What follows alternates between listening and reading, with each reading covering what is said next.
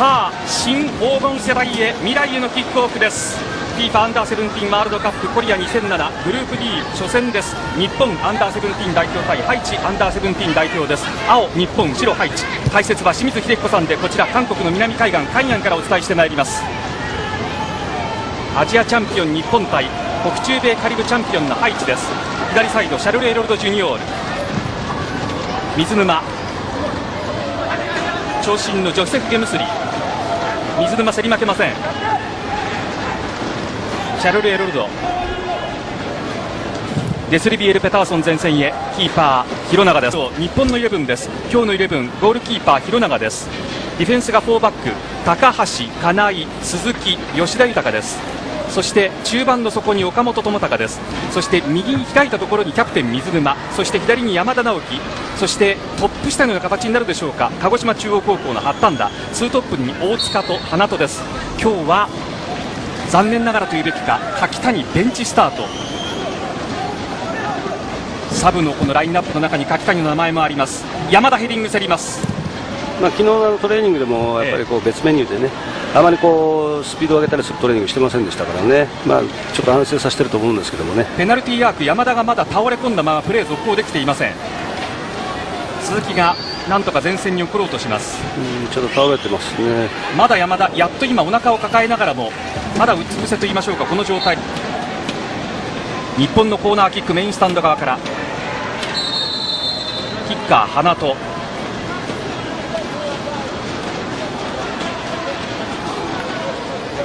岡本もそれからセンターバック金井も上がっています。花とショートコーナー大塚翔平いいボールがあります。ヘッド！水沼宏太競った。シュートは鈴木もう一度鈴木。ずっと彼はこのいわゆる日本ではボランチと言われるポジション。信頼感絶大な岡本高橋俊樹。鈴木ずっとセンターバックは金井と今日はベンチスタートの甲斐という組み合わせが多かったアジアユースの時もそうだった日本なんですがそのシンガポールでのアジアユースの激闘から6人新しいメンバーを入れてこのワールドカップに臨んでいる城福宏監督率いる日本代表です。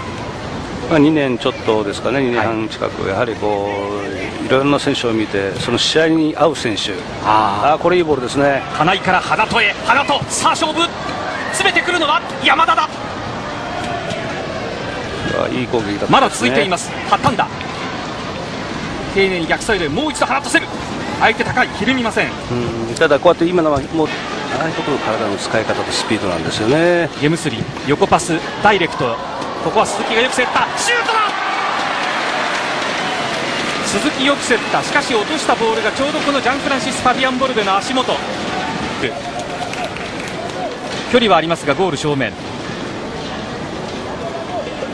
さあここからどんな崩しへ持っていくのかもうリスタートしている鈴木のシュートだ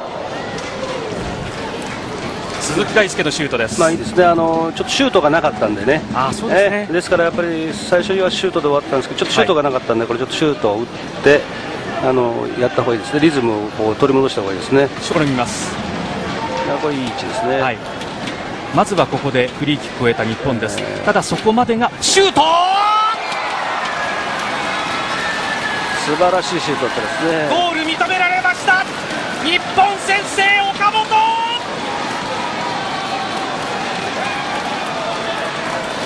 真っ先に上福監督のもとに駆け寄ってがっちり抱き合いますいや岡本智隆値千金先制ゴールこういうプレーだったんですいやあのー、昨日セットプレーの練習してましたねこういうね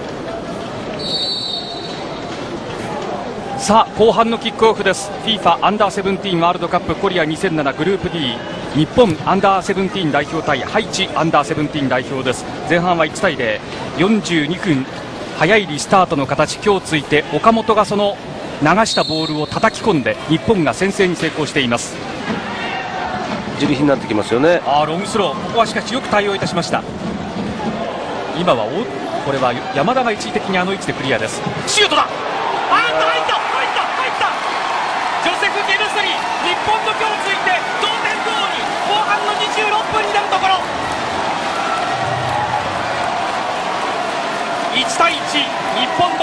かれました。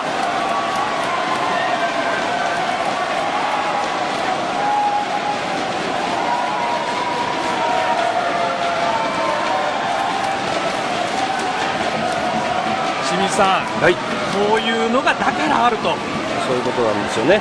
あの今のもですからディフェンスライン下がってしまってますもんですからあの、まあ、遠くてまさか入らないだろうというところだとは思うんですけどもこういうことがこやっぱ起きるんですよね、やっぱりね。このキャプテンジョセフ・ペターソンの胸でのうまい角度での落としそれをこちらジョセフ・ゲムスリのゴール。やはりそこは北中米カリブのチャンピオンとしてやってきたチャンス、ね、さあ日本チャンス水沼コーター中には柿谷もいる川野川野川野ギュッと日本勝ち越し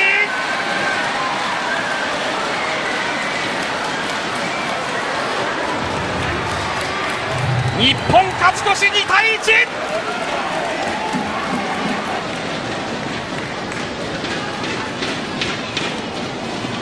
この後ですよね、この後ゲームを落ち着かして逆にリードしたわけですから、ボールどんどんどんどん動かして、これを逆に相手に来させて、裏を取るみたいな形を取っていった方がいいですよね。残り10分、まさにその時今みたいな形ですね。